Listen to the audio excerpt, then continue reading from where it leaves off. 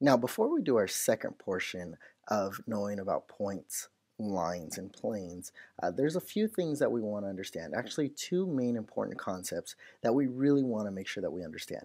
And that's read um, right here as collinear and coplanar. So let's say that again. We have collinear and we also have coplanar.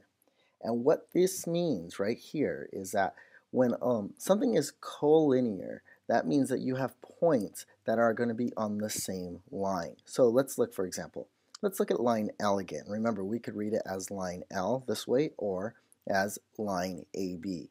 And it's read as AB because we have two points that are on this line. So point A and point B are collinear because they actually share the same line. It's like if you guys were playing tug of war, um, the people on that would actually be collinear because they're sharing the same rope or they're sharing the same line. Now, if you had a spectator, um, let's say we had point C who was just watching it. So point C was just watching your game of tug of war, for example. They weren't sharing the rope, so they're not part of the actual game.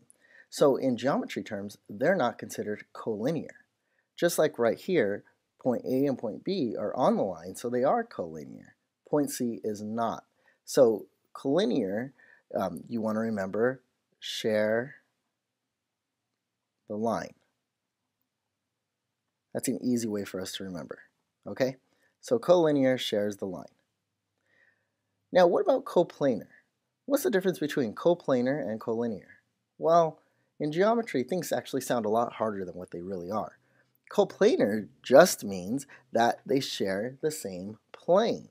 So again, if everyone was here in the sandbox at school playing, point A, point B, point C, C joined them this time, right? They are all coplanar. Now, what if we have D, who got in trouble at school, so D is over here watching. If D is outside of the plane, D is not coplanar.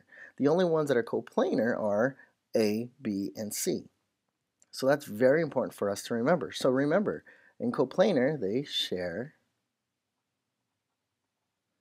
the plane. Now that we have those, let's go ahead and try some examples and we can really understand this stuff on a more complex scale.